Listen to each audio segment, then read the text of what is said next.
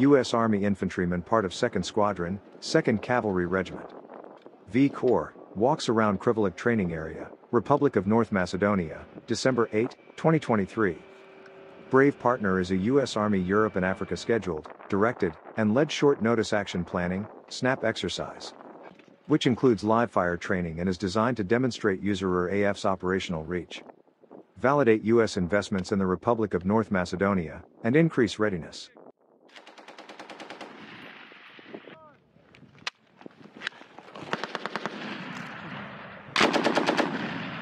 A little higher.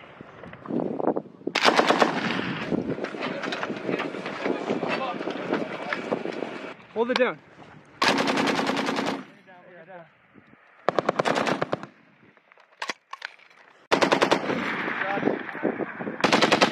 Down.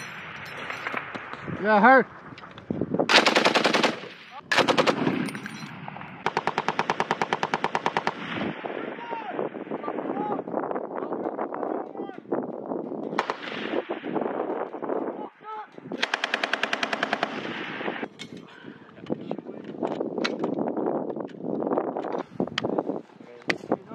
Did you have this shit like collapse all the way?